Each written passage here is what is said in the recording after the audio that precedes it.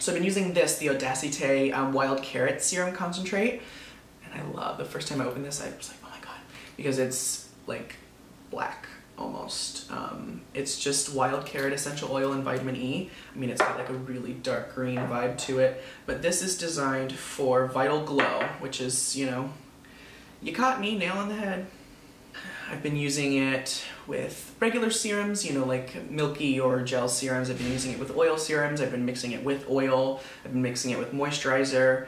Um, my favorite has been mixing it with the African Botanics Neroli and uh, Marula. Ooh, serious glow, serious balance. Um, I mean, you can even see just like right on my hand, just like how much glow that just gave. And it's a very like healthy, healthy, healthy, like, yes, I do yoga five times a day and I have the perfect diet and I didn't just order a pizza and eat it all to myself last night. Disciple. All right. So, first of all, any brand name Disciple, sign me up, right? Um, packaging, gorgeous. I'm pleasantly surprised. I went in with pretty much no sort of preconceived notions or whatever, except for the fact that like with a name like Disciple, it's gotta be good. I love them so much. So Good Skin is um, cucumber seed oil, turmeric oil, rosemary oil, geranium oil, lavender oil, tea tree oil, burdock root extract, and extra virgin olive oil. So it's actually quite thin. It's it's very um, it's very oil serumy, and that's personally how I, you know, just on damp skin, I'll massage a little bit of this in. It's a very herbal, herbal, herbal. You can definitely smell the tea tree um, from it. But it's just been amazing at giving a very clean, healthy daytime glow. Um, it's been quite warm the past, well, it's actually been cool the past couple days, but the last couple weeks has been really hot in New York. So um, on days where I just want to use an oil serum, but I'm just, you know, I was just working on the blog or whatever, I would just massage it in and really amazing. I've worn it when I've gone out and about too, and uh, for daytime it's always nice, right? And then the Dreamy Skin is a retinoid oil with um, retinol palmitate. And the nice thing about retinol palmitate is it um, it's actually found in the skin naturally, but it's more of like a surface thing because of the um, the palm element to it. It sort of can't get in as deep. One of the hydroxypinacolone retinoate, you know, something like that that's really intended to get in there. So if I just want to kind of strengthen my skin, but I'm targeting something else with my serum. So what I've actually been doing is I put this on sort of at the end as more of a facial oil. And that's because I want that retinol palmitate to really kind of go in at the end and just sort of absorb into the surface of the skin and kind of rebuild it from there and kind of strengthen it and replenish it from there. So I mean, I could be using like something like the Pore Purifier or, you know, something that's intended to, like a potent vitamin C. Sometimes I use vitamin C at night.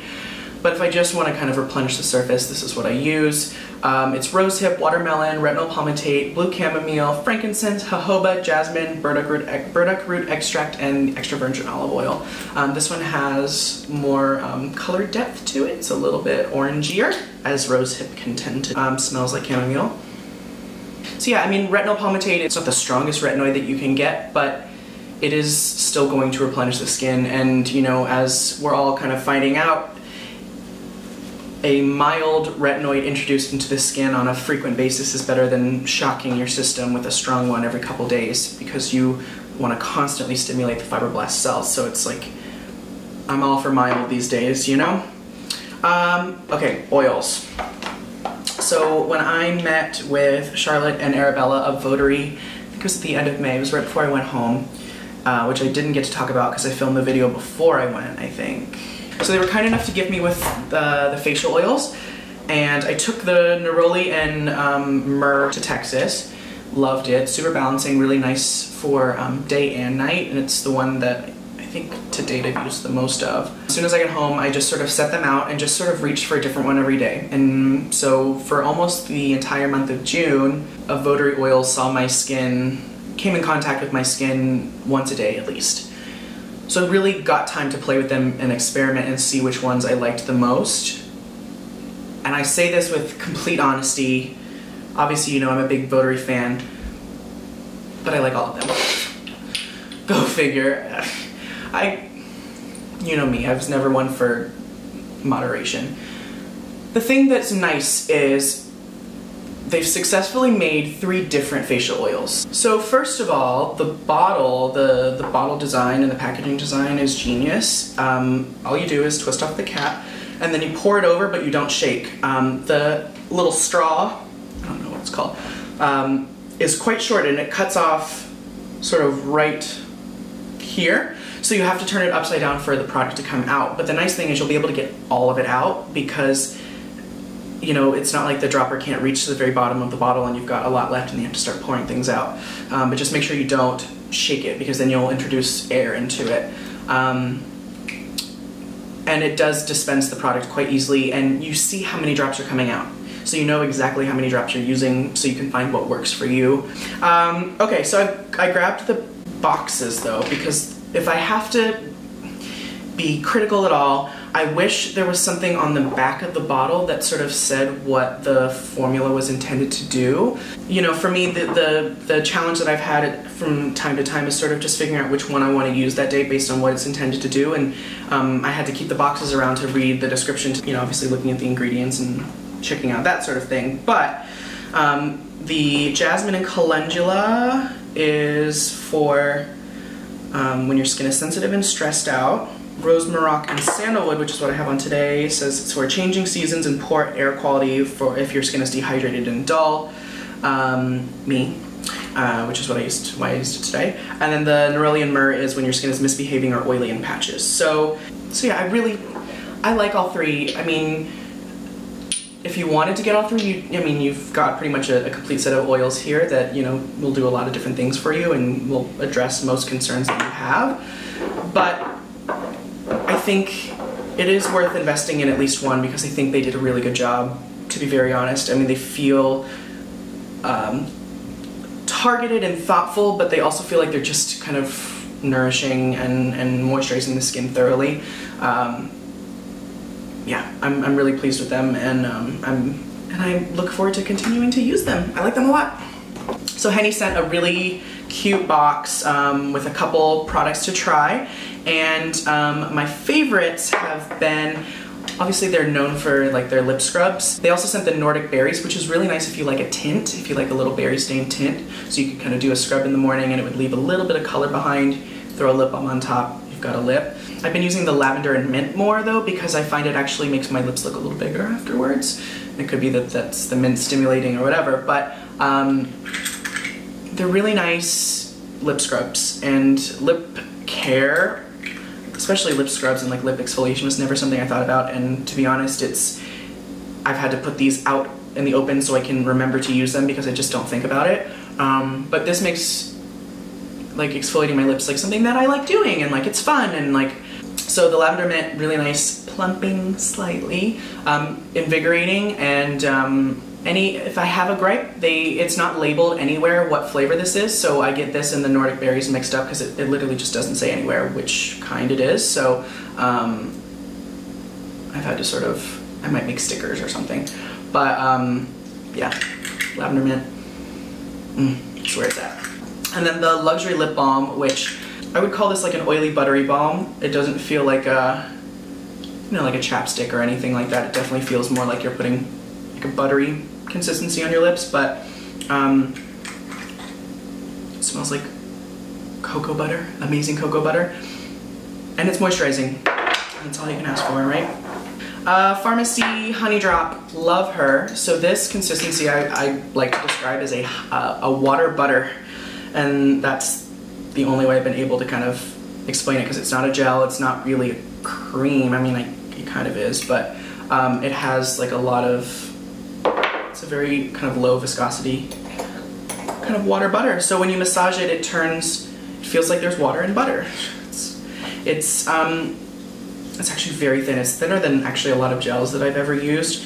And if I'm being very, very honest, it's, I used it, um, the first time I tried it, I just put it on clean skin, nothing else. It was not enough hydration for my skin. I had to put, um, you know, add like a hydrating cream on top or like a, you know, in an oil and a hydrating cream. So um, I really do think that if you've got quite oily skin and you're not like dying in the moisture department like I am, it could be really nice. Um, but for me, I have to kind of pair a lot of other moisturizing products with it in order to get, you know, maximum hydration out of it. But um, the consistency is very, very, like, at least feel it um, if you've got an oilier skin, um, because I think you would really like it. It's, it's a water butter. Um, and the thing, and I always appreciate this about Farmacy, is when they say they're gonna give you an ingredient, they do. If you haven't seen it yet, I did a blog post on the little Farmacy field trip that I took with uh, a bunch of cool people up to the farm, and there's lots of pictures. It was amazing. I still think about it. I still have like dreams about it because it was such a great day, and it was so much love and so much knowledge and so much just like, it's like, God damn it, I believe in them, you know? Um, and fifth ingredients, echinacea root extract. Then, and I'm just going to read this in order, honey extract, propolis extract, royal jelly extract, hydrolyzed hyaluronic, hydrolyzed sodium hyaluronate, sodium hyaluronate, uh, the uh, cupuaçu seed butter, I believe, meadowfoam seed oil, um, camellia japonica seed oil.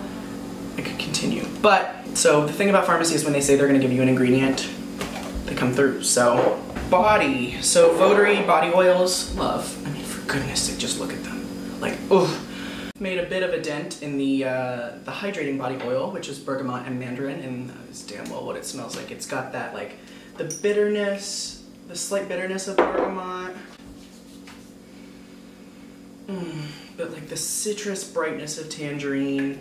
It's the perfect summer body oil. It enlivening the it makes your legs and your arms and your just your entire body look really really glowy um, really nicely moisturizing. Like I feel like when you massage it into damp skin, it absorbs the way it should and leaves behind this silky softness that tends to ideally happen right with body oils. Um, the body treatment oil, I have there's salicylic, but it's it's an oil with salicylic, so you know I'm typically quite resistant to that because I just you know you need pH in order to have salicylic be effective. But you know a lot of people find that UFO works for them, so it's like it's hard to say. So um, I have been using this in certain areas, um, and I do like it, but I think between the two, the hydrating body oil is the one that I, I reach for more. Um, but perhaps the body treatment oil will be nice for winter. So we'll have to wait and see, I guess. Next, we've got Nasty Hands. So 100% of net proceeds will be donated to um, NARAL, Pro-Choice America, um, Hetrick Martin Institute, and ACLU. And this is a collaboration of 10 women. Let me just read the tube to you. Roll up your sleeves and get down to business. Here's a hand cream to keep you smooth and supple for all the sign carrying, glass ceiling shattering, and opinion piece panning you might do in a day. Suitable for all skin types, ideal for resistant hands. Um, it's a great hand cream. It smells amazing. It's very like, um, I say this lovingly, but like grandma in the sense that it's familiar and it's very nice. It's very like, not offensive yeah, it has like a slight floral, just like, it smells like a really good hand cream. Um, and all of the monies of the net proceeds are going to, are fighting back in our current political atmosphere. So all for it, huge fan, um, great product, great cause. Thank you to the Ritualist for sending this over. You know I love my Coda Caudalie, and I always will, but this one's also smaller, so it's better for handbags. Hmm. Interesting. Okay. Um, I went on an Aesop spree at Cult Beauty because the Reverence Aromatique hand wash that I used, which literally took me almost a year to finish a bottle by the way, um, ran out. So I got the Resurrection, which doesn't have the scrubby bits in it. Scent is really nice, but I miss the scrubby bits from time to time. Anyway, I picked up um, the Coriander Seed Body Cleanser, and it's amazing. Um, it is invigorating, it is warming, it is herbaceous, it is um, like it vibrates essentially, um, and it has such a nice um, moisturizing feel. Like it feels like you're rubbing a cleanser that has a lot of oil in it because it really feels like it's moisturizing as you're massaging it. Um, I'm a hypocrite because there's sodium lauryl sulfate, methyl isothiazolinone, and methylchloroisothiazolinone, three ingredients that I say I stay far away from. But here we are, it's a great product, and um, Ouai Wave Spray. I love this to pieces. The first time I used it, I thought it was disgusting, but it's because I used it wrong. Um, since then, obviously, I've made a dent. I love the smell. I love the Ouai smell. It smells very like, um, it could be a Dior fragrance. I'll just, to me at least. Um, but I tend to wait till my hair is 75% dry I lift my hair up, spray underneath, and spray kind of far away so there's just a very fine mist that just sort of collects kind of underneath. I tend to navigate it towards the roots though.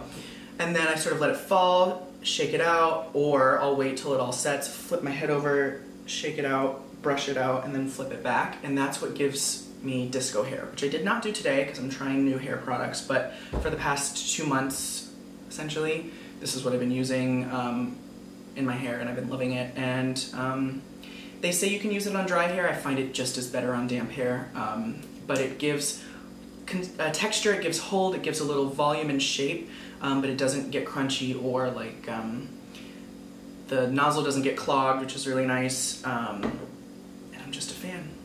Good job, Ouai. I want to like Ouai, you know? Last but not least, Laura Mercier Secret Camouflage.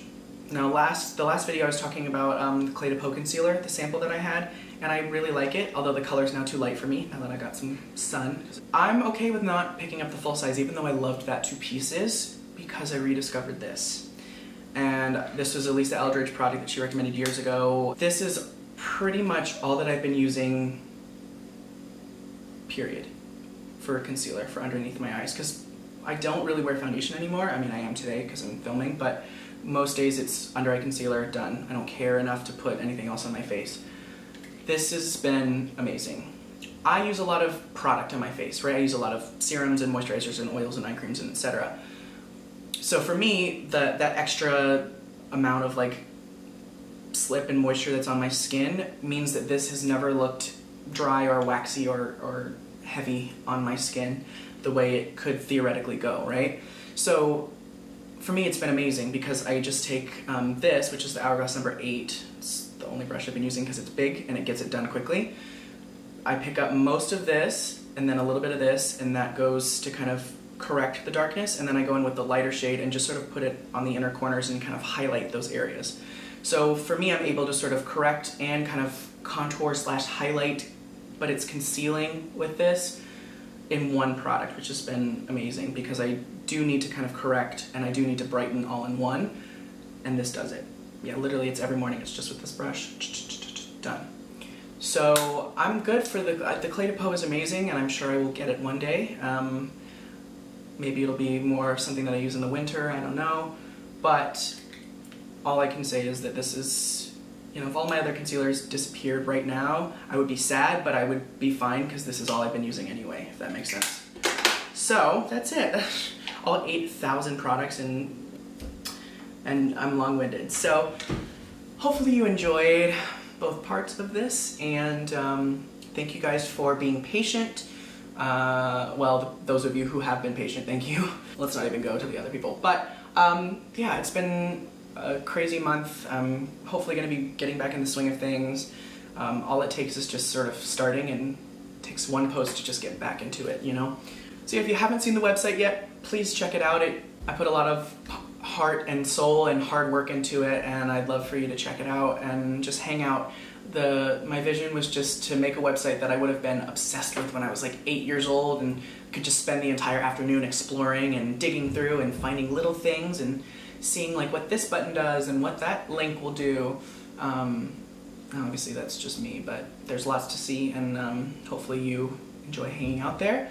Um, and yeah, I will talk to you guys again very soon. Bye.